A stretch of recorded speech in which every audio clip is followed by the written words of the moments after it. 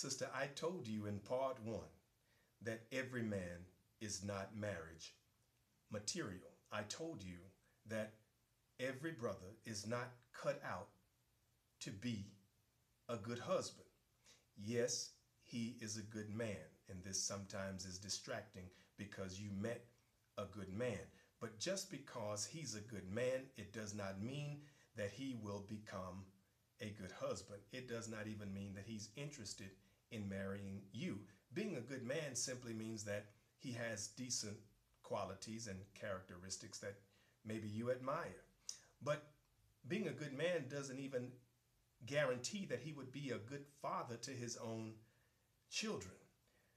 Sister, what I want you to do is understand that most men are only interested in one half of the relationship equation. And by this, I mean most men are only interested in taking you off of the market emotionally, psychologically.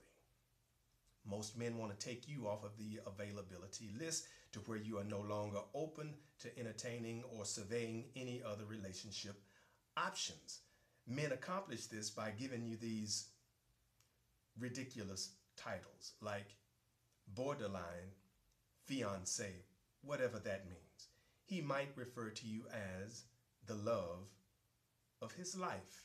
He might call you his wifey or wife to be, or he might simply call you his girlfriend or his girl. But he does this to accomplish two objectives. A, it takes you off of the availability list emotionally to where you're not open to entertaining any other relationship options. And B, it allows him to tell women that he's still interested in or women that he's still seeing that he is not married to you. Sister, what you should pay attention to is if he's the right brother for you, then upon meeting you, he is ready to satisfy both sides of the equation.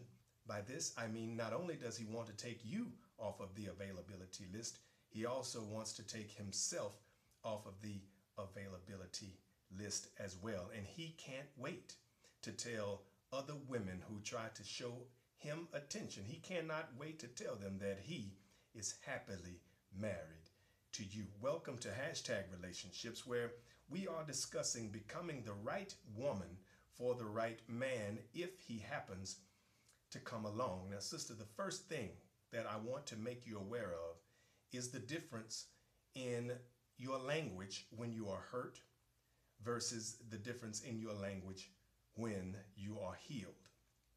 When you are still hurting, you fail to use proper relationship language. Instead of saying, I was selfish, or I was stupid, or I was immature, or I was wrong in my previous relationship experiences, you say, I'm too independent. Now, I want you to go and find a man who is 100% independent and introduce him to me. He doesn't exist. So, why should you buy into such ridiculous rhetoric? I'll tell you why. You like to say that you're too independent as an excuse for why you're single because it's less embarrassing and you feel like it's an empowering statement. But any man who is paying attention knows that this means that there is still many, many flaws that you will not and have not addressed. Sister, when you are healed, you sound different. When you are healed, you are no longer afraid to own up to the reality that we need each other. I need you and you need me. And we understand that it is okay to say that we need each other, but I need you to be at your best in order for me to be at my best. Healing allows us to fully connect. And that's why I'm excited to have you to be a part of hashtag relationships so that we can learn how to better connect to one another. When you are healed, you relinquish relinquish, excuse me, your focus on who's the strongest out of you and me when you are healed. Sister, the right woman focuses on her own ability to receive and offer helpful advice. Her level of maturity is of utmost importance, along with her own level of discipline. The right woman is sensitive to whether or not the man that is desiring to be in her life, she's sensitive to whether or not he's healed from the things from his past. Uh, either his past as a child growing up or his past experiences, no matter how negative, no matter how hurtful, as a, a young adult, she's sensitive to whether or not he has recovered from those less than positive episodes in his life. The right woman knows that it is in her nature to try to take this broken man and try to nurture him back to strength.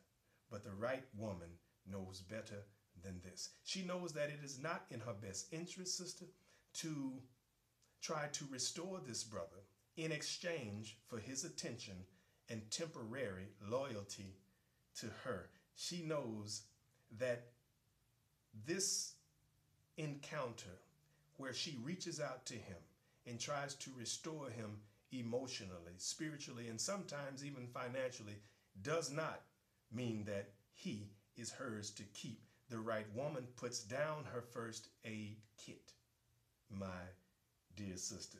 She puts down the first aid kit and she stops making excuses for why she's in the wrong relationship. The right woman, she knows that self respect looks much better on her than cussing and fussing and fighting with the man that she is not even married to or a man that will not ever marry her. She knows that class and dignity looks a lot better on her. Becoming the right woman, my dear wonderful sister, means that you will stop sedating yourself with multiple temporary relationships and multiple temporary men coming in and out of your life. This is what the healing will allow you to stop doing. Becoming the right woman has nothing to do with how hard you love. It has nothing to do with how well you make love. It has everything to do with how well you make the difficult decisions, no matter how hard it is for you to make those decisions. As the right woman, you can make those decisions right away. Guys, I am only here to help. I want for you what I want for myself. I want you to stop hurting and I want you to let the healing process go ahead and, and, and begin right away. I want you to be happy. I want for you guys to be healthy. I want you to live a life of longevity and one of fulfillment. But above all these things combined, it is my prayer that you receive all of the blessings that are coming your way. I hope this information has been helpful to you. I am looking forward to your response, and as always, my name is Jay Jackson.